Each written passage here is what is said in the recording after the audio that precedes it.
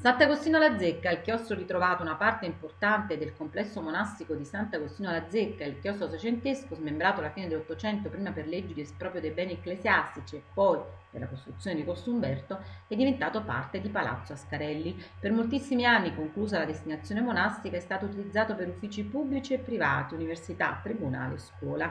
Da alcuni mesi, grazie all'impegno di un giovane ed appassionato studioso, Massimiliano Rizzo, presidente dell'associazione Mario Casolaro, è ritornato ad essere un luogo di bellezza dove il passato rivive e dove si lavora tenacemente per la sua valorizzazione.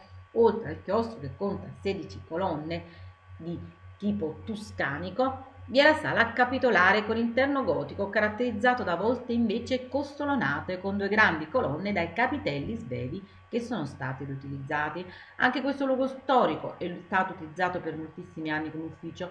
Tolta la moquette, eliminati i fili elettrici e ripristinati alcune parti occulte, il monumentale luogo è pronto per essere aperto ad iniziative culturali e sociali il taglio del nastro il prossimo 4 dicembre con una serata anni 20, mentre il 9 dicembre è la volta di una bellissima mostra.